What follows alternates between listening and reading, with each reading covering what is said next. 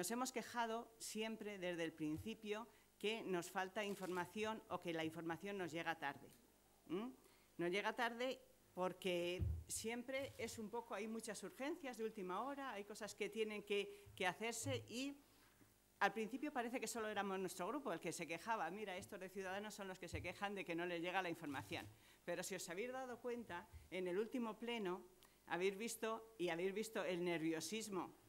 y el enfado del señor Reguera porque, de alguna forma, esa falta de información de la que nos hemos quejado ciudadanos se han quejado todos los grupos. Nuestro grupo cree que hay una falta de autocrítica muy importante en el ayuntamiento, lo que es en el grupo de gobierno, porque si os dais cuenta, todo lo que no se ha hecho no es culpa suya. Nuestro grupo siempre, desde el principio, hemos insistido en el tema del CAT, porque es una inversión muy importante que se ha hecho en Segovia y de la cual creíamos que no tenía bastante explicación y transparencia. Resumiendo, para los segovianos y lo importante es que hay una inversión de casi 19 millones de euros y que de esos casi 19 millones de euros todavía queda pendiente de pago más, algo más de 8 millones de euros.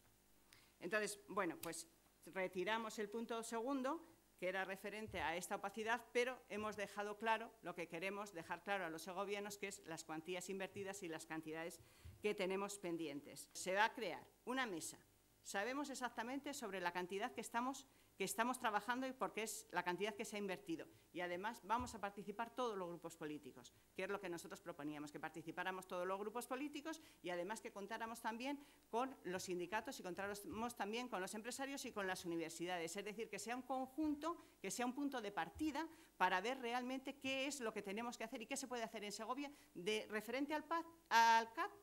y referente a otros proyectos futuros de ver cómo hacemos e incentivamos que las empresas vengan a Segovia. Nosotros nos hemos quejado de que es, si hay que modificar, si hay que modificar una ordenanza, lógico es que se modifique y que se cuente con todos. Bueno, pues la señora alcaldesa ha dicho que no, que como es un tema de gobierno y que lo van a hacer ellos y que como mucho en la comisión informativa ya nos dirán, ya nos informarán. Y entonces han quedado, de hecho han quedado esta tarde, que se reunirán con los colectivos de los afectados, digamos, por este tema de carga y descarga. Entonces, nosotros teníamos como grupo una propuesta que creemos, y de hecho cuando le hemos propuesto a los colectivos no les ha parecido mal, entonces queremos de alguna forma decir esa propuesta y luego después esta tarde, si estáis en la rueda de prensa, podéis preguntar qué opinan sobre nuestra propuesta, porque no nos han dado opción de nosotros explicársela a ellos directamente. Nuestra propuesta es que como en la calle Real, que es la más conflictiva, existen diferentes actividades y los medios de transporte, los que reparten, también son unos mucho más grandes que otros, pues entonces, de alguna forma, hacer que desde las 8 de la mañana hasta las nueve y media entren los camiones de reparto de lo que es hostelería y restauración, que son los más grandes y los que más ocupan. Y desde las 9 hasta las diez y media entre el resto, porque nosotros cuando estuvimos hablando con todos los colectivos afectados, también nos dijeron que eh, empezar mucho antes de las 8 era problemático porque los transportes no empezaban hasta las 8.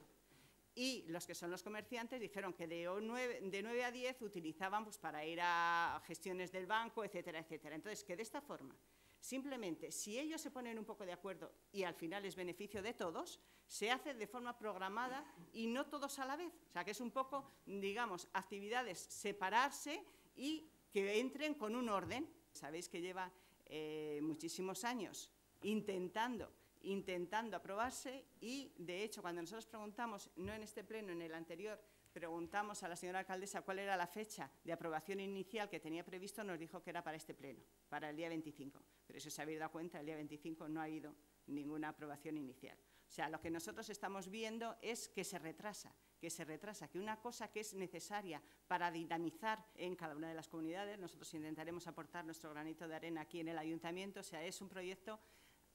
de toda España, es un proyecto que son propuestas muy sensatas, de sentido común y que es un avance a futuro. Lo que pasa es que, evidentemente, hay mucho que trabajar y empezaremos trabajando en todos los ámbitos. Pero nos orgullece y estamos muy contentos, claro, lógico.